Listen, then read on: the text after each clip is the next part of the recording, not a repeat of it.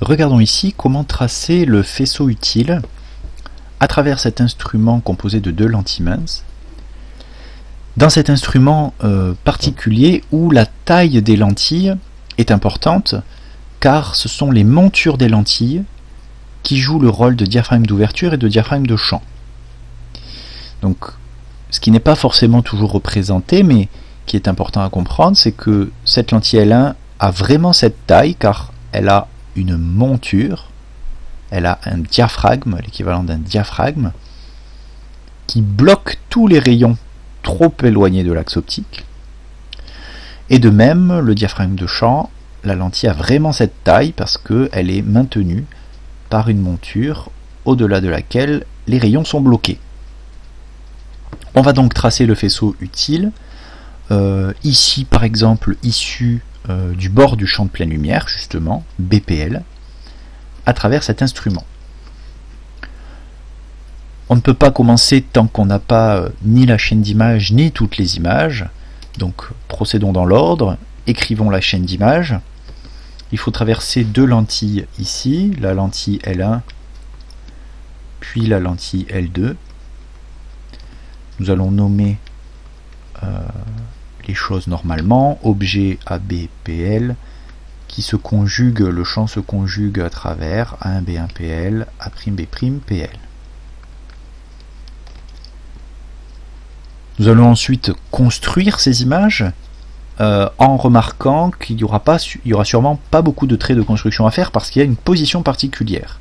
On voit que ABPL est sur F1, le foyer objet de la lentille L1. Et ça, ça veut dire que F1 à travers L1 va donner l'infini.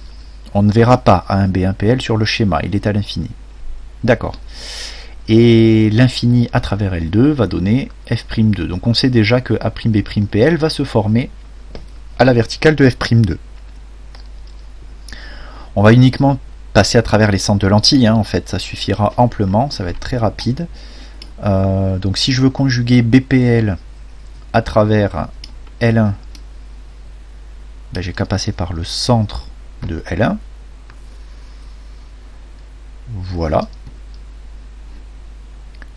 Et c'est tout puisque ce rayon qui est parti de BPL, je sais qu'il va, il va partir ensuite, il va aller sur B1PL mais qui est à l'infini, donc il ne faut pas que j'espère le voir.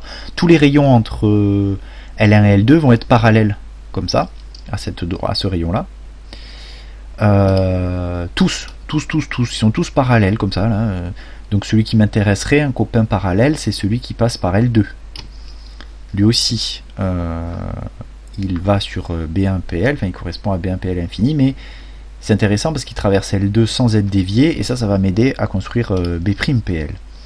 Donc lui et lui sont parallèles parce que B1PL est à l'infini, donc tous les rayons qui vont sur B1PL à l'infini sont parallèles entre eux. Et comme je sais que B'PL est à la verticale de F'2, ben c'est terminé. Euh, je trace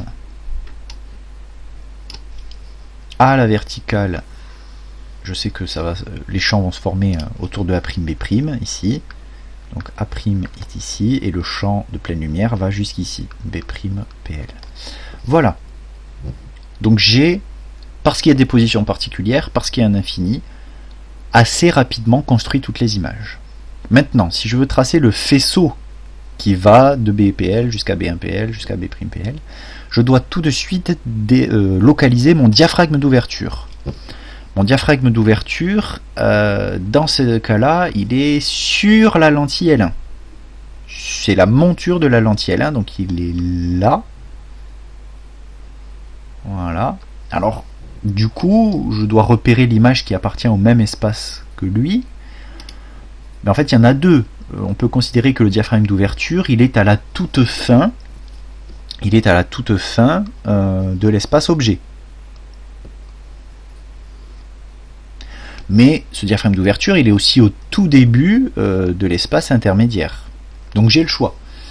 je peux relier, comme le diaphragme d'ouverture ici, il est à la frontière entre deux espaces, je peux soit le relier à BPL, soit le relier à B1PL. Enfin, en tout cas, je vais faire les deux, mais il n'y a pas d'ordre, quoi.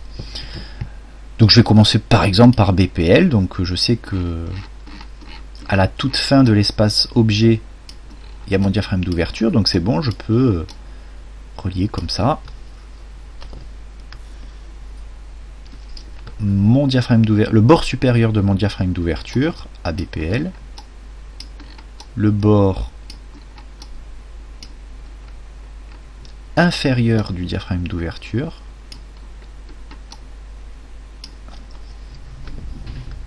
ABPL et, et recommencer la procédure sur B1 aussi, parce que le diaphragme d'ouverture, il est au tout début de l'espace euh, intermédiaire.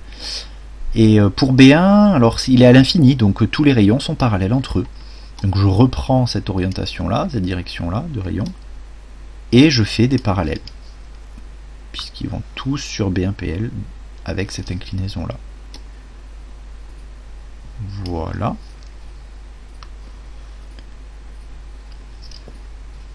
Il me reste plus qu'à traverser la lentille 2. Après la lentille 2, je suis sûr d'après la chaîne d'image que la lumière va sur B'PL.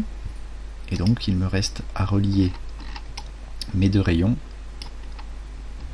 sur B'PL. En voilà un.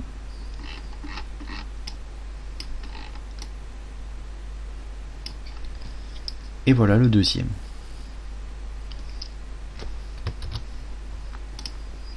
J'ai relié les deux bords du déo aux images qui étaient concernées. J'ai tracé le faisceau espace par espace. Il me reste à flécher et à hachurer. Donc je flèche.